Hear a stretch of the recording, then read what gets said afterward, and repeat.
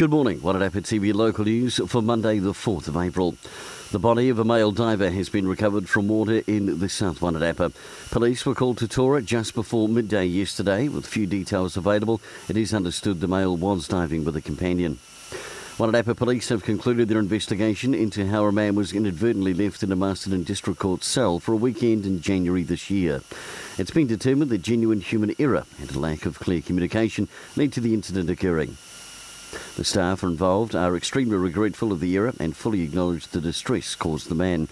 Uh, that from Inspector and Area Commander Donna Howard. In March, the Wairarapa was the hottest region in New Zealand, according to stats released by realestate.co.nz, topping the chart with 33.6% uh, leap in demand due to limited total stock in the area. In both Wellington and the Wairarapa, new listings were slightly up compared to the same time in 2016. However, the Wairarapa recorded the biggest drop in residential stock, down 44%, while Wellington levels fell by 4.7%. And in sport, Wairarapa United have started their 2017 campaign off with a resounding 4-1 home win against Miramar United on Saturday. Mason Smith and Eiffel both getting a double.